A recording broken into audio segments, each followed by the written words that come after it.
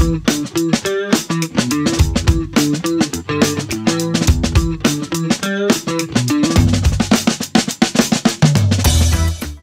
guest today is Chris Woodruff. Chris, welcome back to the show. Wow, I, I, uh, well, first, thank you, and uh, I've, I guess I'm, I'm humbled because I think the last time I was on was only like maybe six, six, seven months ago. So It was earlier this year. I can't remember exactly when. Yeah, Uh, you were talking yeah. about HTTP then. Pretty technical Yeah. topic. But uh, today we're going to talk about something different. We're going to talk about something. Uh, I don't really like this phrase, uh, the phrase soft skills. We're going to talk about career skills, right? Things that you've learned. Because, um, well, first of all, you've been in the tech world for how long? uh, you're gonna age me. So I started my post college career uh, January of 2000 or 1995. All right. So 28 years, All right. That's about how more long I've than at. 28 years. Although I got a later Yeah. start than you did. I was I had another career before this. Yeah, I was I was an I was an accountant for a while. you Didn't were a bean it much. counter, huh? Yeah, it didn't- it's not the kind of thing you brag about, but Yeah, you could make good Uh, money at, at that. So uh, it's a good a, you, career. you can certainly make a living at it. But this is more fun. Yeah. Tech is, tech is more yeah, fun. it is. This is a lot more fun. Um, you know, I, and I tell you what, you were uh, when I I remember moving back to Michigan years like 20 years ago, and you were one of the first people I met, and I I really uh, I really admired. Well, before I got to know you, I I knew of you, and I saw you speaking. I saw how involved you were with things, um, and uh, I thought, you know, that inspired me really to get involved in some of the tech community stuff that we were doing at that time. Yeah. and, I'm st- and we're still doing it. Yeah, yeah. I came into it late. Uh so I guess the the first thing I wish I would have done was uh actually gotten into the community a little bit earlier. I I I think I started around two, 2005 when I was in Lexington, Kentucky. I started a dot .NET user group Cool. but at that point i was 35 years old so uh i was kind of a already older for coming into the uh community but I, I think a lot of people back then may have came into the community when they were a little older and then uh than people today so i think people today realize that they have to uh, make themselves unique. I, I'm not going to say brand because I hate saying you have to build a brand, but I, I do think that you have to build a uniqueness to yourself and your career. Uh, What do you mean? Give me an example then. Well, so everyone is unique. So, you know, our, our parents always told us that that we were special. We're a snowflake. I I don't think my mom didn't tell me that very much that I was special, but uh I well, was I'll tell I you, was you're a special guy, Chris. I was uh Gen Gen X and and I was a latchkey kid, so single mom and but um I think everyone if nothing else you you need to make a name for yourself. Okay.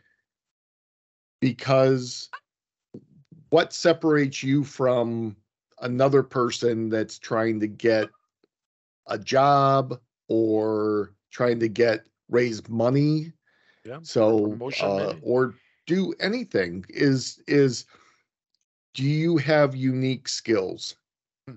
and i've i've always said that speaking and writing are really what separates technology people in the community like there are a lot of smart developers and there are a lot of smarter developers than myself I I am not a, a particularly smart developer.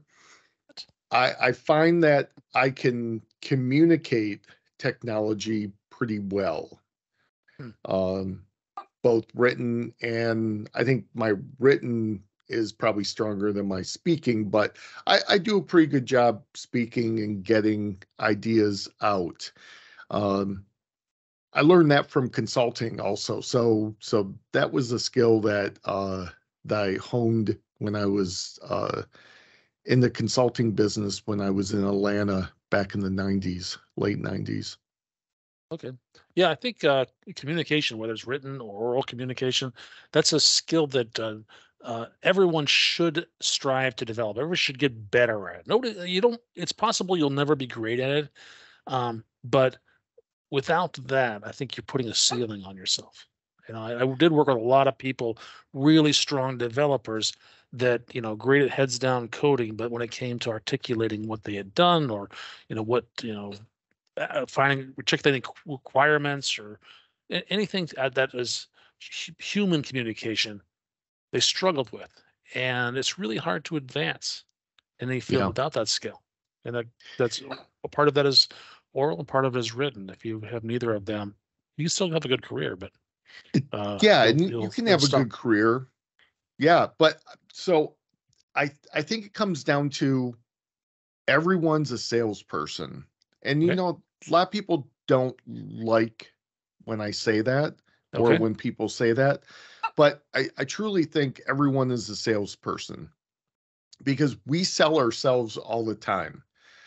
You sell yourself when you interview for a job. You sell uh, your company when you are a consultant and you meet with a potential client or customer for a project. If you're a leader of a of a uh, software engineering team, you sell yourself constantly because that's how you build trust. So, and how you how you become a salesperson and build trust is by speaking, socializing. So, I do think it's very important to have like you said, oral skills, written skills. But I knew so many people that that had deficiencies in social social situations. And you know we i mean i'm a very shy person. Uh you it might not sound like that right now but if you put me into a room where i didn't know one person i one i would probably try to try to uh, get out of that room and Try to go someplace else Yeah. but so i'm a very shy person until i meet people Okay. and it just you, you just have to there are our careers are driven so much by human skills and and that's i don't call them soft skills i call them human skills Yeah. I I think searching for a good word for that. Human skills is a good one. I, I I think they're our careers are really driven by by the human skills that we develop. And some people have those skills naturally, and some people have to build those like a muscle. Yeah, and this it is a muscle because it, it implies that it, you can exercise it. You can get stronger. And uh, I, I I agree with you. You said earlier that um, something like self-deprecating, like I'm not a smart developer. I'm not the smartest developer. But really, um, I think it's really just a matter of emphasis. You know, if you're, uh, I think about the MVP program, for example. You and I are both a part of that at one time, and I think you still are, right? Nope. Oh, okay. I well, you were for I a am long time. You were for a long time. Uh, Uh, I was and- I think I was six years. Yeah, I haven't been time. in the MVP program so since so i always yeah. thought that the the MVP program is a microsoft program that rewards uh, people for sharing knowledge not necessarily for being the the best technologist you have to be a good technologist but if you're willing to share that if you're willing to speak blog go on stack overflow or forums and answer questions mentor younger developers you know uh, run user groups whatever run conferences if you're willing to share whatever knowledge you do have that's rewarded and i think that also uh, companies will reward that as well and customers will reward that because um, you know what good is knowledge if it's locked inside your head Exactly, exactly. And you know, you probably remember back when we both started out back in the 90s there was a there was a term that everyone used it was called the lone wolf Okay. you, you note that so the lone wolf is that one developer who's who's on a team that doesn't interact with anyone. He's just heads down. Uh, he doesn't have very good social skills. And and to be honest that type of person flourished in the 70s and 80s and probably the early 90s and i think the internet uh changed some of that because well agile a lot of things changed it.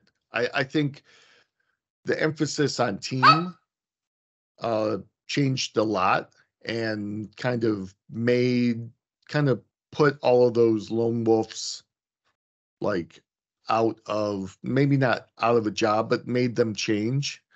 Um so so that's another skill i that you need to have is teamwork Collaboration. you really need important. to yeah you you need so but i mean it all comes down to these human skills that that we uh that we have and and i like the old saying like everything i learned i learned in kindergarten I think 'cause- a book, isn't it? i think so i think it's a book or or someone has has done like lots of articles and stuff but but really i mean to i think if if you take a look at uh trying to make your career better it all comes down to those human skills and and maybe we should just dig in and and talk about something different because i think we're just kind of rehashing over and over again What right should we now. talk about? Well, um, let let let me do this. So, I about a year ago, I had a uh, a series of of conversations with a college freshman at Michigan State University, where I went to school, Great and school. he was a the best. yes, he was a computer science major, and I had signed up to uh, to help people or just to chat with people about uh, career career discussion. And he started asking me some questions, and you know, I look back and I think about this so much. Um, I didn't really know anything about how to how to drive my career. Um, so I went to college. I was one of the I think I was the second person in my extended family to ever go to college. I didn't know that. Um, yeah, and and I grew up in a very lower middle class uh, family, UAW, blue collar workers. I mean, no one. that. I didn't. I, there's nothing wrong with that, and and I loved my my uh, my childhood. My mom worked in a factory, but the thing about was I didn't have a role model that showed me what post college was was supposed to be like. Like I got of college and I was just happy to be making money because I didn't really have a lot of money growing up. I didn't really know what my path was going to be. And and I think back then, so this was early 90s. I don't think universities and colleges really tried to to help students with their post college careers. I think they do a much better job today because they have I think at Michigan State engineering you have to have or there's entrepreneurial classes that you can take or you may have they may be required. Okay. But And, and there's people, then there's mentors from the industry like yourself that are helping. out. yeah, we didn't have any of that. I mean, I don't remember any of that. So so one thing is I think anyone that's in college right now should definitely try to think and try to talk to people about what a career should be what what kind of path they they should they should start on. I'm not saying that they should say like map out a, a path for 10 years, but at least but at least find something that they're interested in. There are so many interesting aspects to software development or IT right now. You have web development, you have system development, you have AI now, you have data. Like data science wasn't even wasn't even thought of uh 25 30 years ago. So I always tell people find something that you're really interested in and dig into that. Mm-hmm. Uh because you have to be unique. Either either you're going to be you're going to go for breadth or you're going to go for depth. And if you go for depth, like a a deep knowledge over something, pick something that you know is going to be around in in 20 years. Right. Uh, because you and I both know lots of people that dug into this technology that Microsoft brought out called Silverlight. yeah. And they became experts in Silverlight and five years later it was gone. Yeah. Well, the thing about Silverlight though is at least they learned XAML, which is a technology that's applicable. They could transfer those skills somewhere else. Yeah. Like yeah, I, right. from my own life, I I started out as a Fox Pro developer. Now Fox Pro, I don't think it exists anymore. Um, oh, it does.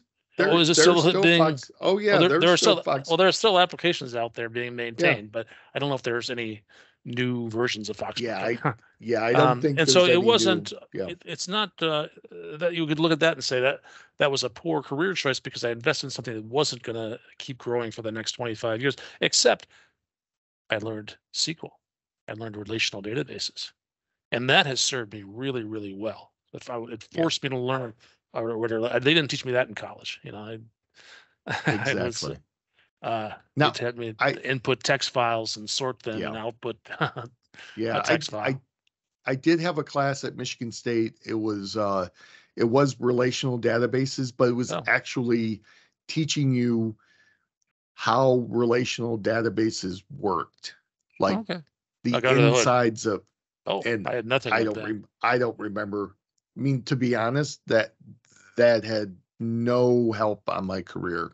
Oh, it was just like operating systems, like yeah, knowing okay. how knowing the the insides of an operating system. Now, wow. interesting stuff, and I probably have used it a little bit, but I think not directly, more indirectly. Yeah, yeah. But yeah. Um, so so think about I always tell people, even if you're 10 years into your career and you don't and you and you kind of go all over the place and you do lots of different stuff at some point you should just try to find something that that you're really super interested in and dig into it and be unique. Like become become a a a person that when people think of that technology or that topic they think of you. You're the go-to guy. Mm-hmm. Yeah because that's that is going to give you the ability to sell yourself over and over again much easier. If if you have to if you have to sell yourself because you don't have a lot of depth in in certain areas it's much much tougher. So. Good advice uh, so this is this is really good advice. Somebody starting out in their career, find something you're passionate about, learn it deeply, become the go-to person on that. Uh, what about but afterwards? You know, you can't just. Uh, I mean, the thing about technology is it's so dynamic; it changes yeah. so rapidly. Yeah. So you're always learning. So my wife was in HR. She was a, a HR manager, and there's she had to learn a few things, but she was amazed that like I had to keep learning so much that I was buying books. I was going to user groups. And th- and that's really what got me into the community. So I was a when I first got out of college, I got into and I developed software with Delphi, Borland Delphi, Oh, yeah. which was kind of a, a VB, a VB6 competitor. I remember and Yeah, Lino, it was, Lino Tadros worked on Delphi, and I think Anders did as well. yeah. Well, Anders created it. Right. Crander, yeah, he created Turbo Pascal, which turned into Object Pascal, which then he took all those all that skill and and came over and did the uh, uh did C sharp and stuff in in the .NET framework. But uh so I started going in Atlanta, I started going to uh user group meetings Hmm. uh at UPS World Headquarters. They would have Delphi developer uh user group. And that's where I met Mark Miller. We all know Mark, crazy Mark. Uh, but he was a big Delphi developer and he came, he would come maybe once or twice a year and speak to this user group. And and that's where I got the idea, hey, I should do this. And I'll tell everyone a secret.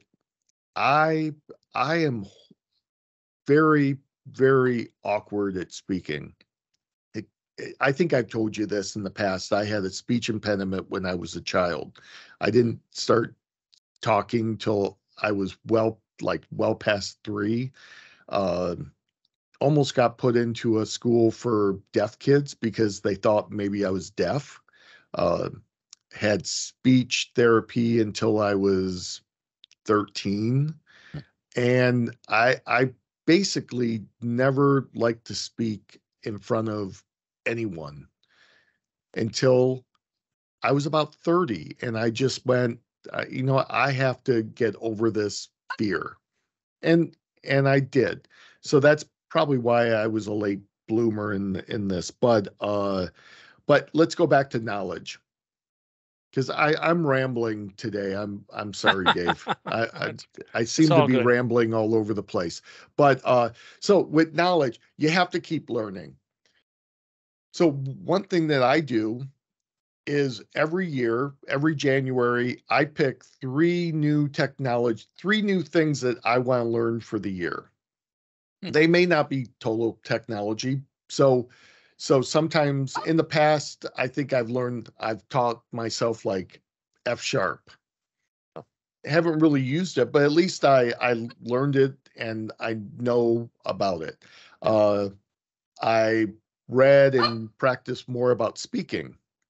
So, I, but I always pick three things. So this year, I I'm doing Rust. So I'm teaching myself the Rust language. I am getting into uh I bought a Mac Studio, so I'm trying to get into the the Mac uh, uh operating system a little bit more. And I cannot remember what the third one was, but but you know, every year I just I pick some new things to learn because you may not use those very heavily, but it's always good to learn new ideas. Uh, go to conferences. You don't have to speak at them. Just go and learn things. Talk to people. Uh, read books. Books are still so important. Uh, and I'm not talking technology books. I'm talking just business books or personal development books or autobiographies or biographies. I have learned so much just from reading about people's lives. I just finished a biography of J. Robert Oppenheimer last week. Ooh, that's awesome. That's awesome. very good. Yeah, yeah. I I Am- just American Prometheus. That's the book on which the new movie was based. I haven't seen the movie yet, but oh the it's- the movie's good. Oh, I have to I'll have to uh, uh read that. I just got done with a Da Vinci uh biography. Hmm. Uh and that was fascinating to to learn about uh, the the life of Da Vinci. So so yeah, I mean just you know the the whole key to this is may improve yourself constantly. Yeah. You know, you and I you know what? I, I will reiterate. I am not, if I walk into a room of developers, I am, I am on the lower half of, of most rooms. And I'm not being self-deprecating. I'm just being r- real. Uh, There my are my, so my many. feeling is that if you're if you walk in a room, you're the smartest guy in the room. You're probably in the wrong room. Probably you're not going to learn anything from Yeah. that room. Probably need Well- to be in a different room. Exactly. Never be the smartest person in the room. Always be one of the dumbest people in the room and you will elevate yourself. You know, they you know they say if you want to be a wealthy person, associate with wealthy people. If you want to be s- smart, associate yourself with smart people. It's the same thing in our industry. If you want to be a good developer, associate with with developers that you look up to and and you want to emulate and i have so many friends in in our industry that that i that i call friends but i also look up to them i also try to emulate them uh and i'm not going to name any of them because i won't give them big heads but uh I won't stroke their egos, but uh, there are so many good people that that want to help you. Oh, agree. And yeah. When when you learn something, share it with someone someone else. Help out people that are coming behind you. Yeah. Uh, because we always get we get lots of help getting up the hill, and you have to you have to extend a hand to get people to where you're at. So help people get up that hill uh, in their careers. Awesome. Well, we're just about at time, but before you go, I'd like you to tell me a little bit about your latest podcast. Oh yeah, yeah. So our the podcast that I started uh, with uh, Maarten Balliauw and Khalid, and I cannot pronounce Khalid's last name. So Khalid and Maarten both work at uh, JetBrains. I used Okay. to work with Maarten, uh, and they're just great guys. And we started this podcast. It's called the Breakpoint Show. You know, Breakpoint like in your debugging, Breakpoint? debugging. Yeah. And it's just us talking. It's usually about half an hour, Mhm. 20 minutes to 40 minutes. Uh, we just talk about stuff and we we ramble sometimes, but it's just us talking about something. So like yesterday we came out with uh an episode talking about the missing parts of .NET, like things that should be in .NET, things that uh, we look at other languages like Python.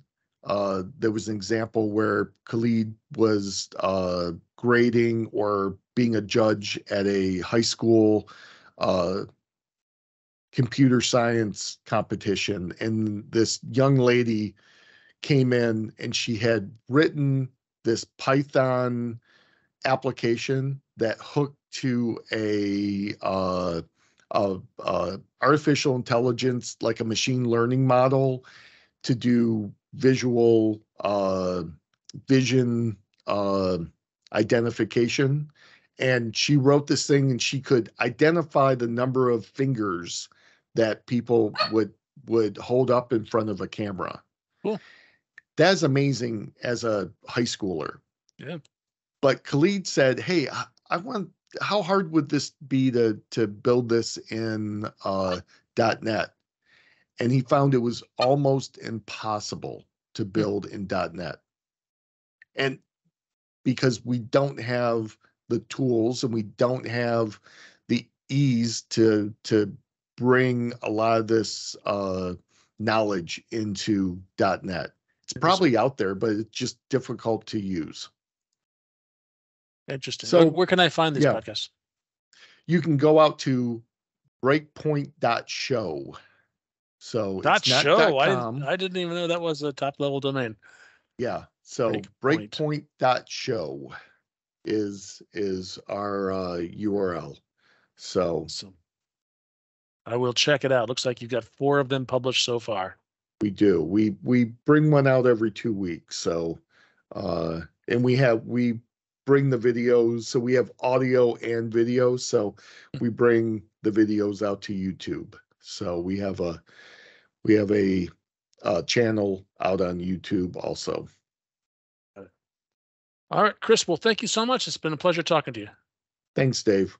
And again, sorry I I rambled, and went all over the place. I was born a rambling man. I can relate. Uh yeah, yep. Me too.